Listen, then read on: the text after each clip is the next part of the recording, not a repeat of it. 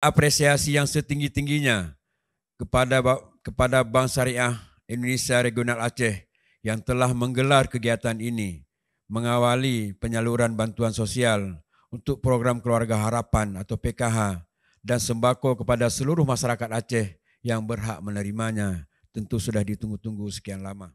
Hari berbahagia untuk acara selanjutnya merupakan penyerahan bantuan sosial sembako dan program Keluarga Harapan PKH kepada keluarga penerima manfaat secara simbolis. Thank you